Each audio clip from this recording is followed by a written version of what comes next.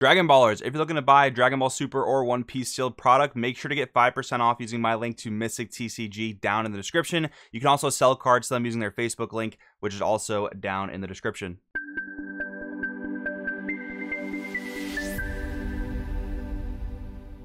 Yo, what's going on Dragon Ballers? Welcome back to another video. What I wanted to do in today's video was go over the tournaments took place over the weekend for both One Piece and Dragon Ball, but not all that information has made itself available yet, so hopefully that comes out within the next couple hours or tonight or hopefully just tomorrow morning so I can get you guys some videos on that early this week. But in the meantime, we are going over the yellow Goku Spirit Bomb archetype for set 20 power absorbed. And overall, set 20 is looking a lot better than set 19 in terms of strength, in terms of fun archetypes.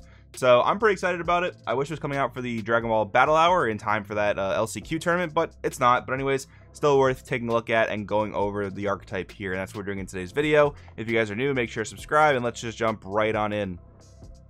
All right, we're taking a look at the SS Vegito leader, which has got a lot of people talking about it. It's very, very interesting. Also, it's just weird that we started as Vegito and go into Goku and Vegeta, but uh, there's a lot of other weird things about this leader. So it's a 20k leader.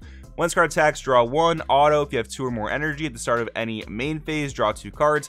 Add cards life to hand until you have six life left and flip this card over. So the big deal about this unawakened leader is that you are a 20k leader. But notice that second auto, if you have two or more energy at the start of any main phase, you're pretty much forced to awaken. So you're not even really swinging with this card unless you go second. It's on your first turn. Of course, there's the meme, haha, you could not charge two energy and then just stay 20k forever, but you're not winning any games staying at one energy. It's just not possible. So with that in mind, you're pretty much just deflecting a lot of low cost aggro for the first turn or two. And that's a cool thing. I don't think this is going to be like obscenely broken just because it's a 20k on the unawakened side. Again, because you're pretty much forced to flip over once you get to that 2 energy. And I think this is actually a pretty cool design choice. If it ends up being broken, I'll eat my words, but I think this is a pretty cool thing.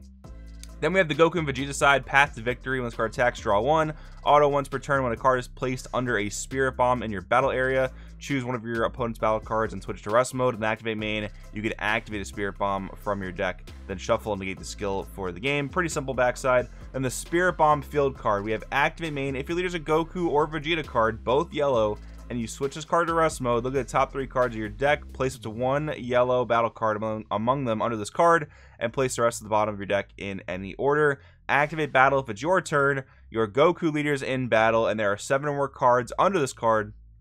Use all the battle cards from under this card in a combo with their skills negated for the turn and place this card in the owner's drop. That's a big combo. Obviously, it looks like it's helping us go for some game-ending power. And that's kind of becoming the thing with yellow, just huge combo power on final attacks between like the Piccolo Gohan SCR, Mirror Creator Absorbed, Oolong, and now this thing. Yellow's just smacking for some really big damage in the in the uh, later parts of the game, which is kind of funny. And this whole leader theme just seems to be on par with that. Then we have two Z leaders. I think the first time we've seen two Z leaders, especially for the same archetype. But anyways, we have Z Awaken, Goku, Spirit Bomb, Hope for two Z energy costs and a regular yellow energy. When you place at 4 or less, it goes over yellow Goku, and then Z stack 1. Yellow Goku with a Z energy cost of 4, so the Goku to the right goes under this, it seems like, when this is placed on top of your leader. Activate main once per turn. Place one card from your hand under a Spirit Bomb in your battle area, then draw two. Activate main if there are seven or more cards under a Spirit Bomb in your battle area. Remove this card from the game. Place one Goku Z leader from under your leader on top of your leader and if you place a card you may switch as leader your leader to active mode so this is like a whole jumbled mess of text i think honestly that it's printed wrong but i could be wrong so this says play once you remove this from the game which is the first piece of text in the effect place a goku z leader from under your leader on top of your leader i don't think that your S your Super Saiyan Goku leader goes under your leader at any point. I think it just goes under this Z leader. So that's why I think it's like a, a mistake, a mess of text. But basically I think what it is is just you're you're losing this Z leader, the regular Goku Z leader, and you're going to be able to go into the uh, Super Saiyan Goku Z leader from this activate main. I think that's what it means, but if there's somehow that your Super Saiyan Goku leader goes under your regular leader, let me know down in the comments because I'm just not seeing it. That's why I think it's like a mistake of text. But anyways, let's read the Majin Showdown Z leader. So just ignore the Z Awaken. You're probably never, ever, ever going to Z Awaken for 4 energy. Permanent, while there are 7 or more cards in your combo area, and this card is in a battle, negate the skills of all cards in your opponent's combo area. So negating their super combos. That's pretty crazy. Any other wild effects they might have while comboing, that's pretty cool. Auto and card attacks, draw one. Activate battle. If there are seven or more cards in your combo area and this card's in the battle, for the battle, this card gains double strike, and at the end of the game, or at the end of the battle, remove this card from the game. So kind of like that final Super Saiyan uh, Spirit Bomb that he throws at Majin Buu. Very thematic, very cool. And so far, this doesn't seem like too far outside the realm of possibility to actually pull off. I mean, we've only seen two effects that put cards under Spirit Bomb. There are more that we'll read in a minute, but yeah, if you're able to stack that up, you're gonna have to play pretty heavy into the archetype. But if you can do it, you get some really powerful game-ending uh, strength. And obviously, you back this up by a Swift Retaliation Cooler. That seems pretty wild. All right, then we have some battle cards for the deck. We have Vegeta Buying Time, simple one-drop cantrip, but also while your leader's a Goku card, there are six or fewer cards under a Spirit Bomb. This card gains 11k power, so he is hitting for 15. Super Saiyan Vegeta Indomitable Spirit. I really like, really, really like the design of this card. Four drop 15k unique blocker. Auto limit one. If your leader is a yellow Z leader, when this card's placing your drop by an opponent's skill, play this card from your drop with its non-keyword skills negated for the game. So it's almost like another form of protection. It's not barrier, it's not deflect, but if it dies once, it comes back. And that's a pretty cool alternative form of uh, quote-unquote protection. Activating for a yellow. If your leader's a Goku or Vegeta card, both yellow, you have two or more energy, play this card from your hand. Also note too, just funny enough, that any of these yellow Vegeta cards are also playable in yellow Cabba Vegeta. That's just another cool thing to note here. And then we have Kibito Kai Potara on display. One drop 4K when this card's played, look at top 5, add a Saiyan or Earthling, both with energy costs of 4 or less, among them to your hand and shuffle your deck. Activate main limit 1. If leader's a Goku or Vegeta card, both yellow, you have 2 or more energy and you send this card to the owner's warp. Play up to 1 yellow battle card with energy cost of 1 from your deck with its skills negated for the turn and then shuffle your deck. And that's going to be pretty important for stacking cards under our Spirit Bomb. But it's also super interesting that Kibito Kai plays any yellow 1 drops. Like, for example, you could play uh, Chi Chi Martial Melee, which is the Dimension Magic Silver Bullet in yellow. Like, that's super interesting because it only negates the skills during your turn. Once it goes back to your opponent's turn, that card has Barrier again, and then for the rest of the game, it's going to be a, nuisance for your blue opponent. So that's really, really interesting. But anyway, some one drops for the strategy. Dende laying the foundation. One drop 4K unique barrier. Activate main once per turn. If your leader is a yellow Goku Z leader and you send one yellow battle card from your drop to your warp, play one Earthling token with 1000 power, 0 combo, and 0 combo power, and it gains barrier till the end of your opponent's next turn. And then we have Hercule, expecting the unexpected, kind of a combo here. Permanent, this card can't be KO'd while in rest mode. Permanent, if your leader is yellow and has both Goku and Vegeta, and you have a yellow Dende in play, reduce energy cost of this card in your hand by a yellow, so it becomes free, I'm pretty sure. Activate main switch card to rest mode. You may choose any number of your opponents uh, of your battle cards and switch them to rest mode. If you do, for each battle card switch to rest mode by the skill other than this card, you may place top card of your deck under a Spirit Bomb in your battle area. So basically, by comboing Dende and Hercule, you know, Dende spamming out tokens and Hercule tapping them, you get to put way more cards under your Spirit Bomb. Now, this is kind of cool, but also I don't love it because it takes up a ton of deck space just for some very weak one-drop battle cards, and it's just pulling off that Spirit Bomb combo. So hopefully the deck is not overly reliant on this combo. It might be though, that might be a downside, but let's read Hercule Rallying Hope. We have a one-drop, one Z energy cost battle card Barrier. Activate main, switch card to rest mode. You may choose any number of your battle cards and switch them to rest mode, and if you do, for each battle card switched this uh, by this skill, you may place top card of your deck under a spirit bomb in your battle area. So again, you're foregoing some of your aggression to be able to stack more cards under your uh, spirit bomb. Hopefully that doesn't take us like multiple multiple turns to do that uh, and I would hate to to play all these little one drops in the deck but uh, I don't know it's gonna take more building for sure but generally this is how we're looking at putting all those cards under our spirit bomb as of right now all right now we have some power for the deck so we have Vegito Unexpected Separation. We have a 2-drop 15k, activate main. If your leader is a Goku or Vegeta card, both yellow, and send this card to the owner's warp.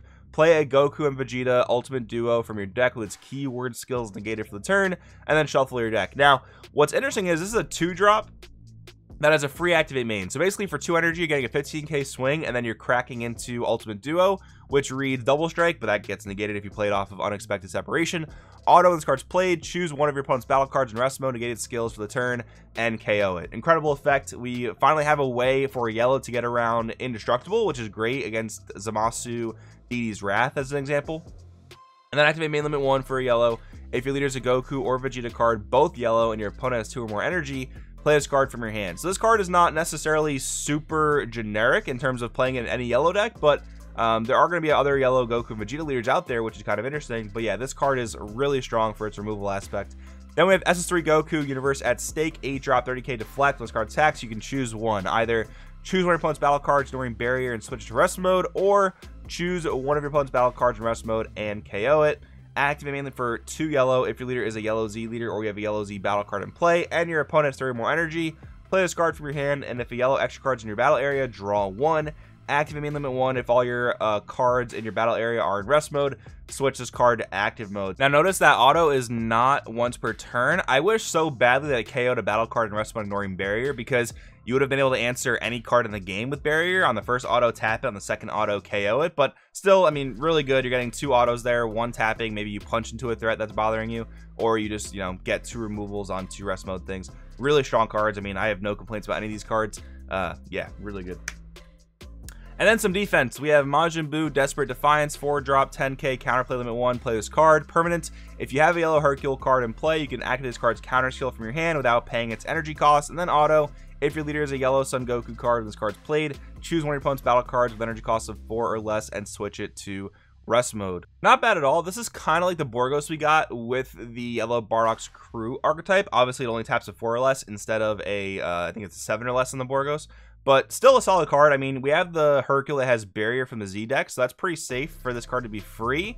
But if you don't have Hercule in play, if your opponent has a decent amount of barrier removal, which is now a lot more common in Dragon Ball Super, this Majin Buu might just be a dead card in hand. So yeah, I, I could see a lot of us not playing it just because it's a little bit, um, I don't know, unsafe maybe, but still a pretty cool option to have. And then SS Vegito Overwhelming Might. This card is super interesting. 8 drop 15k, blocker, counterplay, play this card permanent. During your opponent's turn, while your leader is yellow, your opponent has two or more energy, and you have two or more Z energy. Reduce energy cost of this card in your hand by seven, so it does end up costing one. When this card's played from your hand, your opponent can't attack with non-leaders unless they choose one of your active mode cards and switch to rest mode each time, very similar to Riposte. At the end of the turn, send this card to the owner's warp. Additionally, if your leader is a Z leader, or you have a yellow Z battle card in play, your leader gains the following skill for the turn. Permanent, negate all of your opponent's strike skills for the turn. So there's some discussion around that effect also being misworded because uh, technically your opponent doesn't have the strike skills, your opponent's battle cards have the strike skills. So that's something that might need to be errated or just updated in the FAQ. But regardless, we, we know how it's intended to work. When you counterplay this thing for the turn, your opponent doesn't have strike. Your opponent does not have double strike. Your opponent's cards don't have triple strike. And that's really strong. Um, you're going to be saving a lot of damage in that regard, although you're still probably going to have to combo when your opponent attacks if they do have a fully stacked board, but at least you can afford to take like a single strike that might have been a triple strike, right? That does seem like a pretty big deal. And now having another type of riposte card is obviously going to make yellow even more defensive than it already is. This is tied to counterplay though, not counter attack. So it's used in a slightly different way, but it's going to be a lot easier now to like quote unquote double riposte your opponent because you'll you know negate their initial attack with an actual riposte and then when they commit more cards to the board you'll counterplay and now they're double taxed on all their attacks which is kind of insane. And uh yeah this card seems like a yellow staple going forward. Will every yellow deck play it? I'm not 100 percent sure but i think most defensive yellow decks will 100 percent slot this into the main board. And when i say like super defensive yellow decks i'm thinking like you know trunks vegeta but less so like Kid Goku reboot, which in my opinion is a more aggressive yellow deck. But regardless, I mean, all these cards seem pretty pretty good. I think the only issue is going to be how hard it is to stack seven cards under your Spirit Bomb, and if that's attainable by like turn four, I think it's like pretty strong because backing that up by Swift Retaliation Cooler, like I said, uh, assuming that card doesn't get banned, we'll see. But yeah, that seems like a really strong combo. But anyways, guys, I want in the comments below what you think about this archetype. Thank you so much for watching. I'll see you guys in the next one.